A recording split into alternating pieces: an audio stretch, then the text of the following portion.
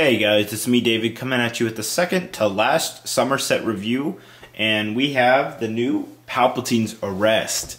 I know I, went through a lot of trouble to get this pretty early and uh, I'm really glad I got it. It comes with some great minifigures. Just go ahead and uh, go dive right into them. So uh, the first one we get is a brand new Mace Windu and uh, he has a I'm pretty sure it's a modified torso design. It's similar to the Clone Wars design but it's not exactly the same. Then he has a new face. Then he has his uh, purple lightsaber. And he does not have back printing. Like, he does have, no, does not. but, uh, yeah. So that's the new Mace Windu. I'm really glad that all of these new Jedi are, uh, are uh, like an episode 3 movie like version, not the Clone Wars versions of them. Um, the movie likes look so much cooler. Next one we have is Agen Kolar. Uh, Kolar, I think, hopefully I'm pronouncing that correctly.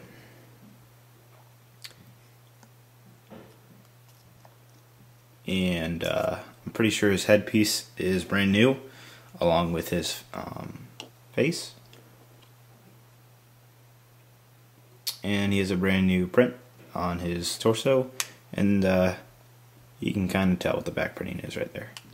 It's kind of a pain actually put this uh, um, his hair on uh, because this right here will actually like kind of bend the uh, cape so it was kind of hard to actually put his uh, cape on. And he has a blue lightsaber. Next is we have uh, Tiin and uh, this is the episode 3 version of him. So he looks way cooler. Much better than the Clone Wars one. Now he does have the same uh, headpiece as the Clone Wars one, but it looks just fine with that new face print. Then he has a new torso design, and he does have some back printing. And he has his uh, green lightsaber. Next is we have Kit Fisto, the only not new figure, or updated figure at least. So, yeah. Not much to say about him. It's just Kit Fisto. Green lightsaber.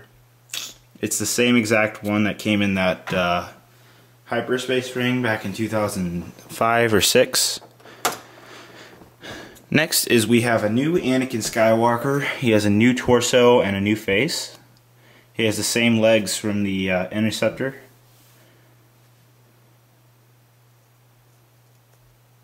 And I actually really like his new face. It looks really good.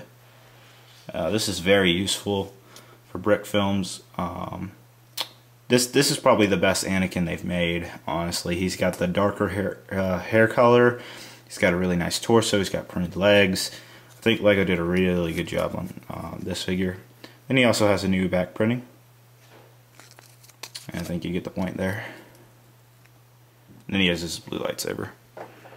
And last but not least is the evil um, Palpatine. Obviously, this is Palpatine's arrest. Um, oh, yes. I am so silly. I'm sorry, guys. Uh, Palpatine's arrest is 9526, ages 9 to 14, and has 645 pieces, runs at $100. We'll talk more about that price later. So here's the new Palpatine, and um, you do get two um, things of lightning for him to hold in his hand. So he has a double-sided face, so this is his uh, front face and this is his new torso design. I'm really glad we finally got a uh, Palpatine that's uh, Chancellor Palpatine that's uh, actually like an episode 3 one that's actually more accurate. Uh, but yeah, and here is his evil kind of uh, rugged face.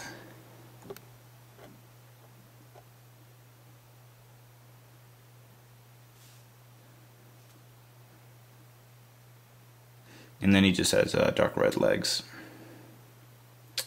And he does have a red lightsaber with a uh, no, gold, golden hilt, and I'll show you that later. It's actually, in, it's part of the set. I'll show you what I mean about that later. So we're just gonna move the old these guys off the screen and let's dive into the set itself. Now, I gotta say it was not a fun build. It was actually very frustrating. May have just been me, but I never really mess up on builds. I never really make mistakes, but this one, I just had at least five errors and I, you know, I think I actually catch like a error in the instruction booklet. Something about this set it just it was very confusing building this upper part. I know it looks very simple but there's actually a lot of mechanics under it. Um this here was actually a little difficult because they didn't really explain the instructions you know how to do uh, it's a lot of underneath stuff. It looks really simple on top. It just wasn't as pleasant and easy build as I thought it might have been. But I guess it's kind of a challenge then. But I don't really like when you mess up. I've never really messed up before. Alright, so the first thing we get is this uh, kind of, uh, it's not really a spaceship, it's more like a kind of car version, uh, except spaceship. So this is, uh, I was told this is what Jedi use to get around Coruscant. Um, it's quite nice actually. It's, uh, this is the only thing that has stickers on it. Uh, these two things are stickers, so it's this and the cockpit can just open up that there and you can set the um, figure right there and there is no control panel kind of lame this is what the back looks like it's got two little um, kind of booster engines and then of course guys what is a set without its flick fired missiles uh, so we got two flick fire missiles here and here um, I think you get the point I don't even need to flick the uh, flick fire missiles and uh, it has a nice little tail going on back here. And this is under it. It's, a very simple design. Put that off to the side. So uh, one of the, I guess the cool things about the set is the fact that you can uh, actually rearrange some of this. So this like docking port, which is not actually officially part of this very scene, it's just near the actual scene. You can take that out it's just on regular pegs and you can say I want to switch it and put it right there like that I can do that and um, if I wanted to I could actually connect it back here as well. So I'm actually gonna disconnect this. And let me just show it to you up close. This is the this is actually a really cool this is the really cool scene where you see all four Jedi walk in, the doors open, and then you see all four Jedi, badass Mace Windu, excuse my language, and uh, we see all of the really awesome Jedi just come right through, and uh, they just die. It's kind of sad. I just, I really wish Palpatine didn't just kill off some of the coolest Jedi ever. But whatever. George Lucas and your silly mind of killing the poor innocent Jedi. Anyways, um, the doors uh, are just very simple mechanics. It just opens and closes. Um, I, I, really can't say more than that. It just does that. Um, you can open one door like that, and it's not the very best design because they kind of come up like that, but it works. Um, and then you have some extra detailing going on there. So if we want to be, wow, that's just great. There we go. So we want to be movie accurate, the actual opening doors is right there. So you could have like a cool, and uh, of course this one's to break. Uh, so if you want, you can have like a cool opening shot in like a stop motion. Be like dun dun Da da da. You see Ember uh, Palpatine right there. So that's kind of cool, actually. You can be like da na na da na na da na na da na da na na. Yeah, you get the point. Um, so I'm actually gonna take these two things off now and just focus on Palpatine's room or office, whatever.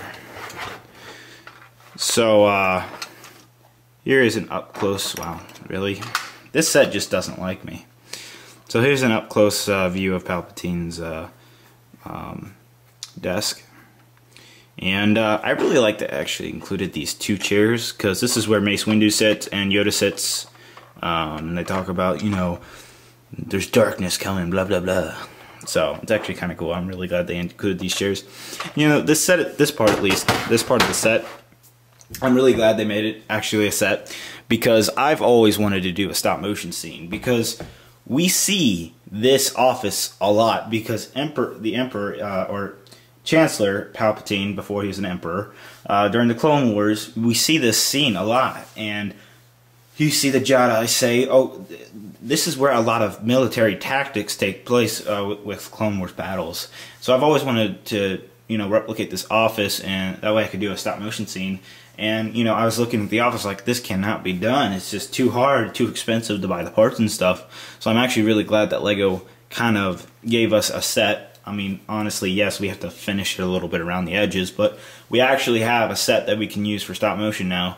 I'm really happy that they uh, gave this to us even though it's not the very best set and the very best price, but it is a good set overall.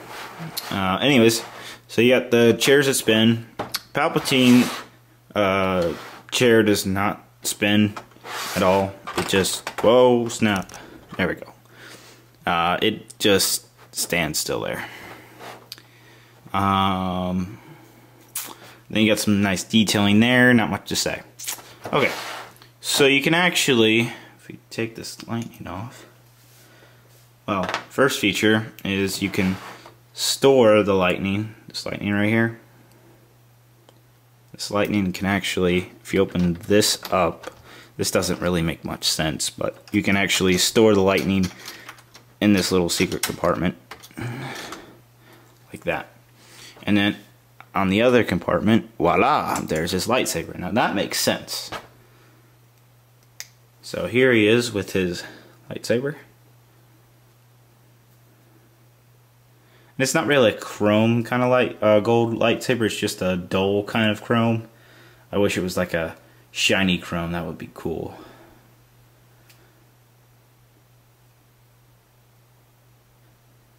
But yeah.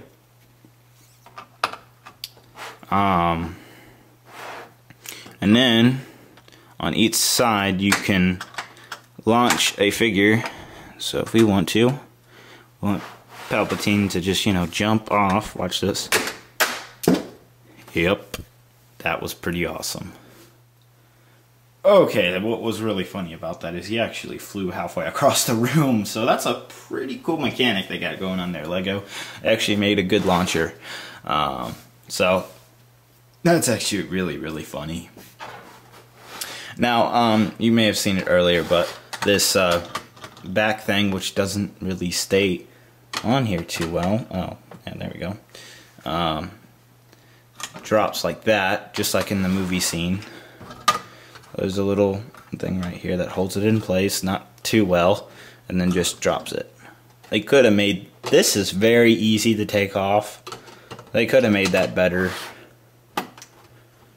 Uh, and then this, this does not look good I mean, there is no giant gap and hole in the freaking uh, window. That's kind of a disappointment. But there you go, that's Lego. Uh, anyways, um, yeah, that, that's actually all the all to the set.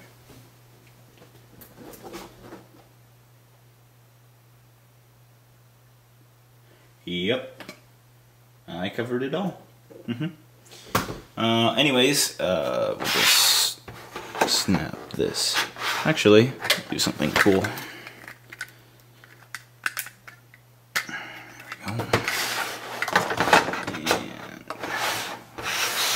There we go. That makes much more sense. Huzzah. Yatta. uh, anyways, um, yeah. So that's Palpatine's arrest, guys. We're just gonna go ahead and uh, push this back. And there we go. And I'm just gonna go ahead and show you the box. Oh, one last thing. how do I forget these things? Uh, there is kind of a dark, uh, there is a double-sided face on Anakin's head. Thought I'd show you that. There you go. Uh, so this is his more dark side. I'm gonna kill you. Yeah. Not really. Killed his own wife though. Kind of sad. Yeah. Wish Padmé didn't die. Anyways, um, to the box, guys. okay, so what we got going on here? Very, very long box, but very, very uh, uh, short um, width. Anyways, uh, so that's that's the front. Not much to say. Yeah.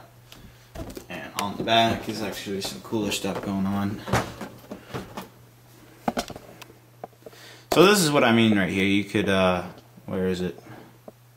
Uh, yeah, right there. You can have some pretty cool scenes going on. I wish that background, of Coruscant was included. That would be cool. Uh, but yeah, that, that that launcher right there, that actually does a very good job. Uh, but yeah.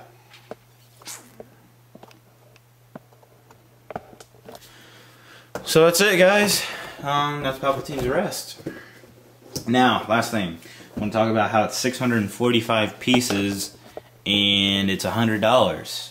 And it's 90 euros, I think. It could be $90, but I'm pretty sure it's $100. It's what everybody's been saying it is. Maybe 90 I'm not sure.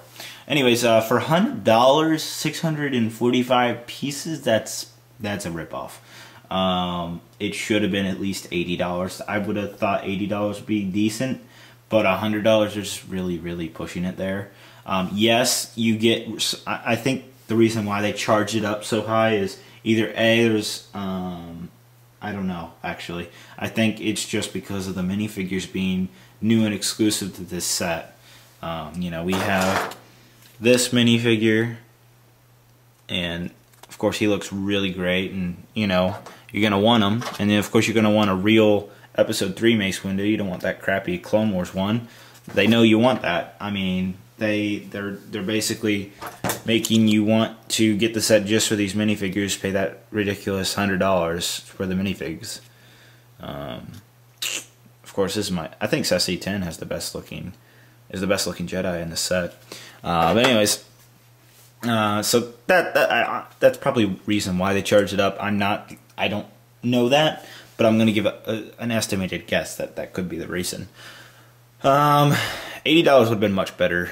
You know, kind of sucks, but a lot of you probably still will just get the set because you know you get these exclusive Jedi. That's the main attraction.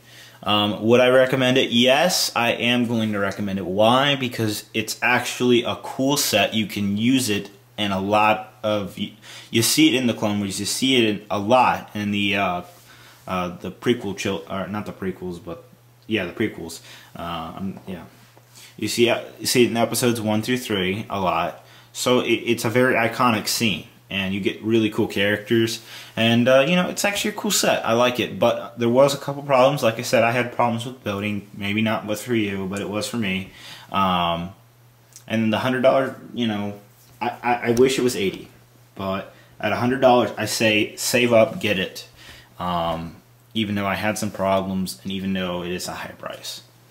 Um, but they put some nice details like the little golden statue right there. That's cool. You know, and they added some really nice stuff. So I'll give props to Lego for actually pulling off the set pretty well. I know I know a lot of people complain that oh well, you know this this this this ship right here shouldn't be in there blah blah blah blah. I think it's fine. I think it's actually a nice little addition. But um, yeah, that's about it, guys. Thank you very much for watching this review. Uh, please rate, comment, subscribe, share this video. I'm actually pretty sure that I'm at least the first in America. I'm not too sure about first in the world, but that'd be cool if that if that's true. I don't know if I am or not. But anyways, uh, if you go right on up there, you'll see a subscribe and more videos button. The more videos button will show you the rest of the summer 2012 sets, and the subscribe button will give you all my new videos right in your uh, front page of YouTube, so I highly suggest you click that button. And of course, liking the video. doesn't hurt at all. And I want to say thank you to all of my fans because you guys keep on supporting me with these reviews so much. Thank you. Really appreciate that. And I'll see you guys in another review. Bye bye.